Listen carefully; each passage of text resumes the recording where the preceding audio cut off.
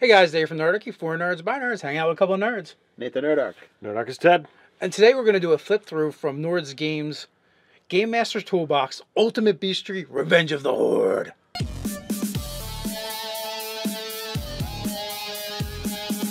Jump down to the description below where you can sign up for Nerdarchy's newsletter, get weekly gaming tips, as well as learn how to game with Nerdarchy. If you guys haven't guessed, our uh, Kickstarter for Revenge of the Horde has come in, and we're going to do a flip through. This is a sponsored video. Uh, right here, one of the things you could get through the Kickstarter, and also they're available for purchase over at Nord Games as well. Link in the description below is encounter cards, and we have gnolls, we have kobolds, and Okiti. a kitty. I'm not even sure what that is. It's something in the in the book. I haven't even really looked at it yet.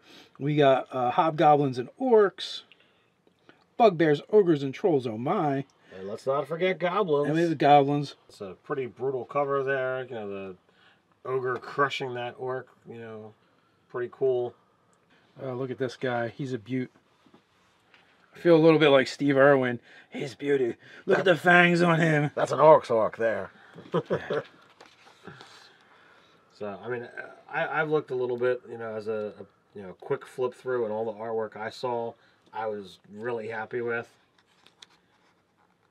We got a nice uh, scrawled preface there. Awesome. Bugbear's one of my favorites. Yeah, of the there's only a handful of third party publishers that you know I'm happy to go to most of the time. And Nord Games is definitely one of them. So we got an art, Bugbear Archer, Bugbear Cutthroat. And uh, just to be clear, guys, the art is actually even better than it looks uh, through the camera. the The colors are muted, um, but they actually look fantastic in the book. If you just in case you can't fully see that, uh, I am totally in love with the art and the style. This is some really fantastic stuff. There's some gruesome stuff. Bugbear Headman, a challenge six. That's uh, that, that's pretty cool. Go to a Bugbear Shaman, also a challenge six. That you know is is good to see. you know. Also, looking at this page, uh, you have bugbear trinkets, bugbear lair details. So you have like all these cool extra things um, in there that's that's built right into the book for you guys. Yeah, and earlier they talked about the cultures and the environments that they're found in. No, some of my favorite monstrous humanoids. Those guys are looking pretty beastly. yeah, you know, for, you know, variations in fur color, which you know not a lot of people tend to tend to do. Yeah, and they've got uh, things on the culture again and the combat tactics and role playing of the gnolls. And then, of course, it's all broken up into different CRs for you. So it, it really does allow you to use the monsters longer in your campaigns.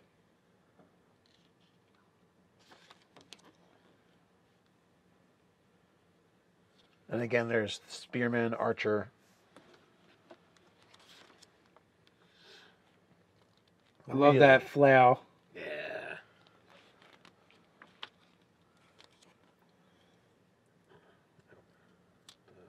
Clan Mother and a challenge five. Pretty nice. And then again, lair and trinket tables. And move on to as opposed to plains gnolls. Now we have gutter gnolls. And you can see they, they you know, even the artwork is showing a distinct look. These guys are kind of mangy looking. Well, I mean they're gutter gnolls. What do you expect? They look like they're from the gutter. They're the they're the no they're I think they're the nose my mama warned me about. You. Again, again, you had some more trinkets and lair lair details. It's pretty cool. Move on to rock gnolls, and again, you have culture, environment, role playing for each of those. I heard you like nose. Here's some nose on top of your nose. It's nice that they get a, a thematic feel to all of the different regional gnolls there.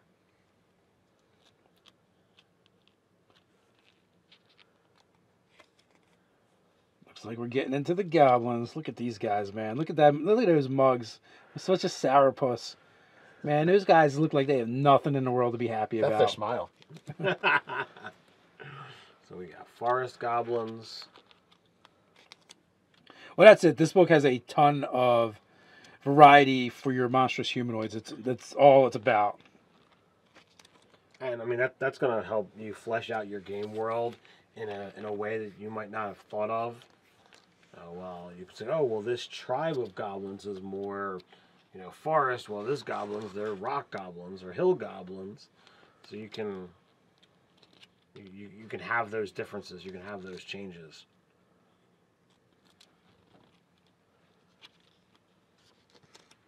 So much art. Oh, I love that helmet. it looks like it's a Nazi helmet. Goblins, the Nazis of the fantasy world. Oh, Hill Goblin Alchemist. That is really cool. I like how he's got the old school. Um, what's that? Physician's beak thing. Mask, yeah. Yeah. Wow, that guy looks kind of Spartan. Oh yeah. Beastmaster and champion. Again, we get the uh, the trinkets and the lair details.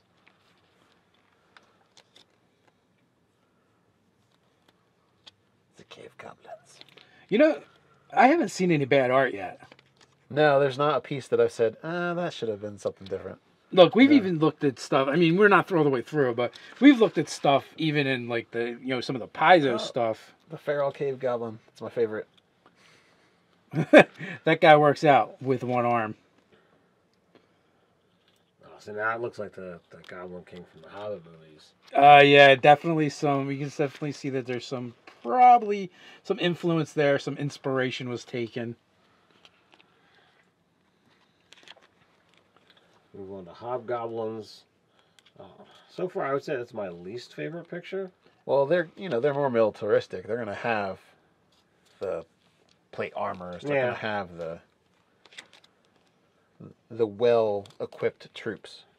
I'm just I'm Yeah, I, I'm feeling you on the hobgoblins. They are the least interesting. Uh, the art's not bad, but visually they're the least interesting thus far. They're well, they're well drawn. They're well colored. I just I'm not I'm not buying the visage. But yeah, they're not selling me like the other monsters did. Where the gnolls were super scary and I, I, even the goblins were creepy. I can get behind the Hobgoblin soldier. He's he's got me sold, but so far he's the only one. Uh, this guy don't look bad. And again, here it's not even the art, or the style. It's just the um, the the choice of the depiction, really. Yeah. Because the art the art is on par with everything else. Yes. They're just they're just not. I just want to say they're not as exciting. you. Here's here's the here's the part that I've been waiting for. Oh, this is nice. That's that is a great image right there. Yeah, my, my my flip through kind of led me to, to the kobolds and you know I I dig the reptilian kobold. I know some people you know they want to go more into the to the rat like or you know the, the, The- kind of somewhere The in classic, the classic kobold, if Um, you would. I'm into the the you know mini dragon kobold. Kind of torn. Ooh, look at that guy. How about this? Does this make you untorn? That's pretty good looking. Yeah, they, they are pretty sweet. I'm, I'm having the hobgoblin palette uh, kind of get washed. It, it's it's almost like they had someone draw the hobgoblins that weren't into them. like because the art was like so good, but like technically and and uh, how well you know they were illustrated, but they just weren't. They weren't cool, you know. They didn't have the cool factor. Like, look at that guy. I think it's I think it's because hobgoblins are so close to I humanoid love human that. humanoids. Uh, s- That- which one? I mean, the, the, the, co- the dragon kobold wizard. I mean that that to me is like all right. Yeah, he's a challenge four, but I mean he could he could literally be like the campaign arc for your first uh, your first couple levels.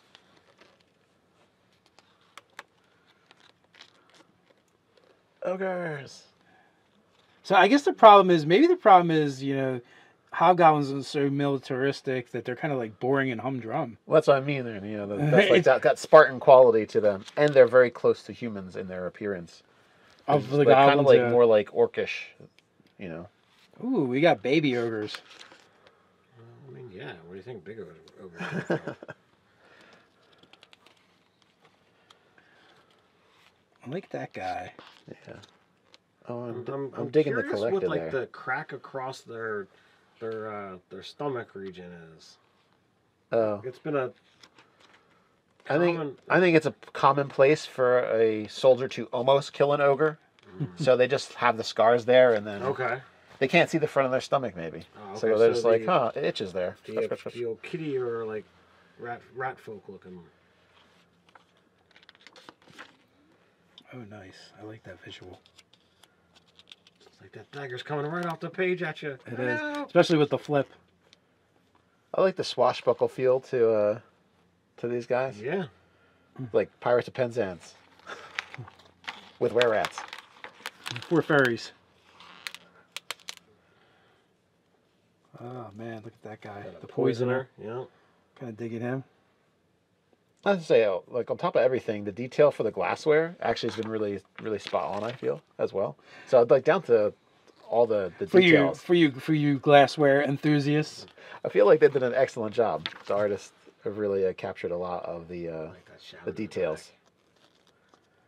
All right, so hopefully the orcs don't suffer from the hobgoblin. Yeah, I don't think they will. I think they're gonna be wearing too many bone pieces and spikes to to suffer from that. Keep it savage. Yeah, I think they're gonna have the savage there. Yep, bones and spikes. I called it. Definitely. Yeah, I like that guy, the Battleborn. Yeah, speaking Ted's language. Whoa.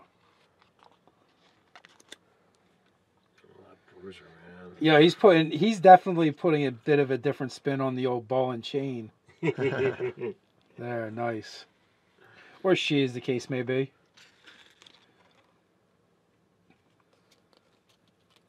Orc commander. And we have an orc shaman.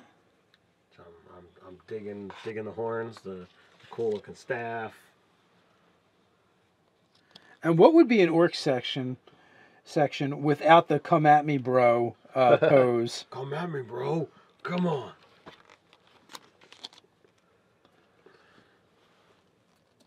Bone Cracker, the Gold Arms, the Moon Daughter, all different tribes of orcs. Trolls. I didn't even know they were in here. Surprise, sucker! We got trolls, and three very different looking trolls too, mind You you. got a rock troll, a wood troll, and some kind of furry troll.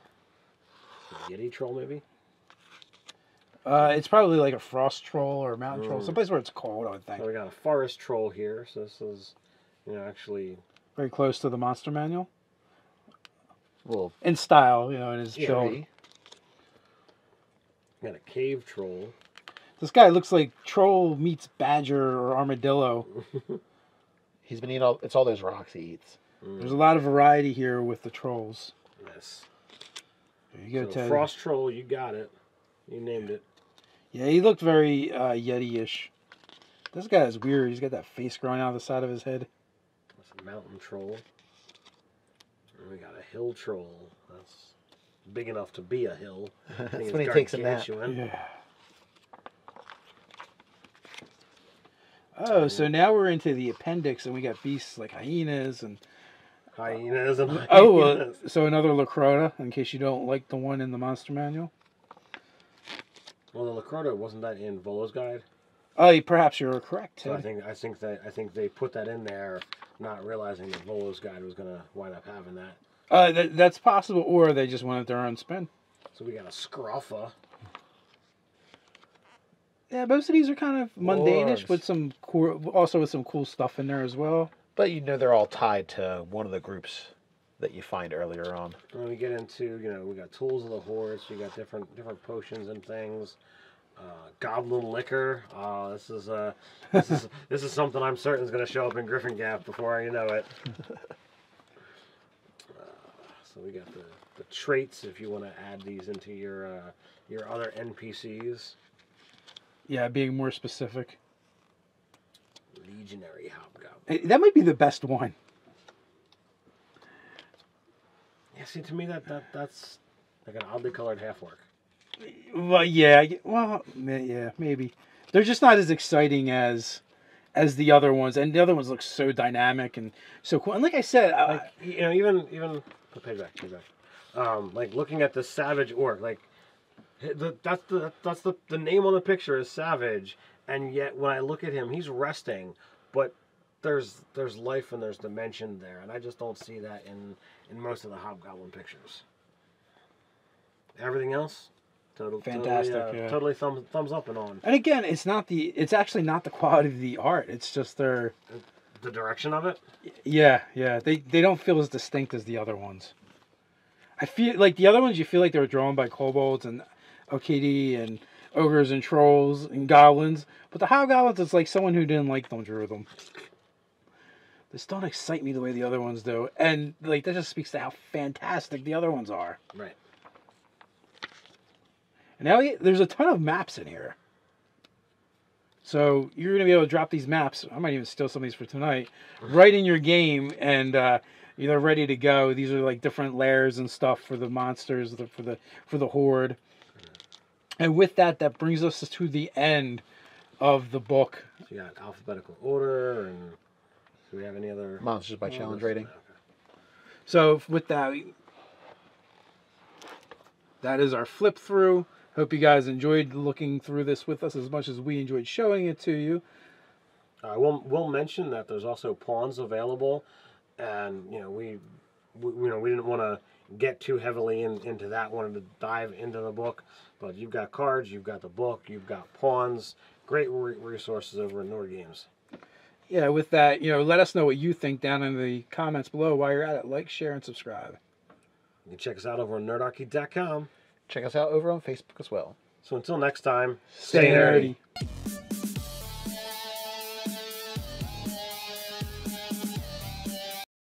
Hey guys, Dave from Nerdarchy, for nerds by nerds, hang out with a couple of nerds. Nathan Nerdark. Nerdarchist Ted. And today we're going to do a flip through from Nord's Games Game Master's Toolbox Ultimate Bestiary Revenge of the Horde.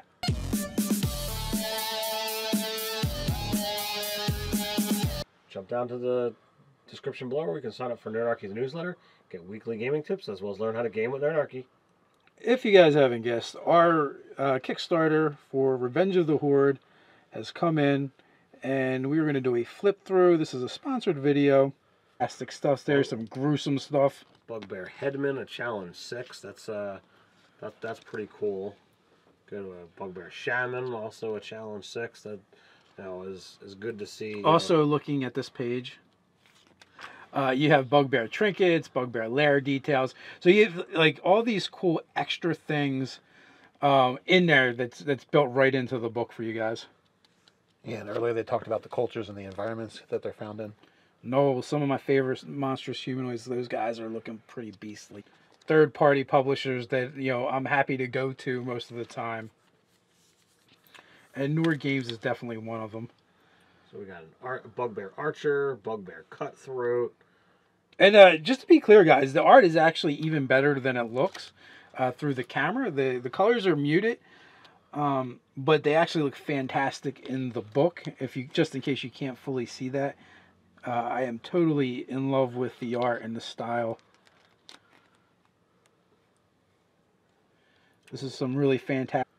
Uh, right here, one of the things you could get through the Kickstarter, and also they're available for purchase over at Nord Games as well.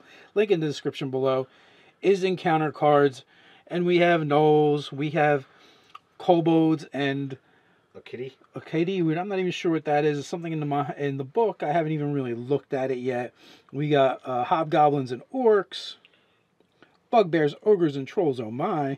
And let's not forget goblins. And we have the goblins. It's a pretty brutal cover there. You know, the ogre crushing that orc, you know, pretty cool. Oh, look at this guy. He's a beaut. I feel a little bit like Steve Irwin. He's beauty. Look at the fangs on him. That's an orc's orc there.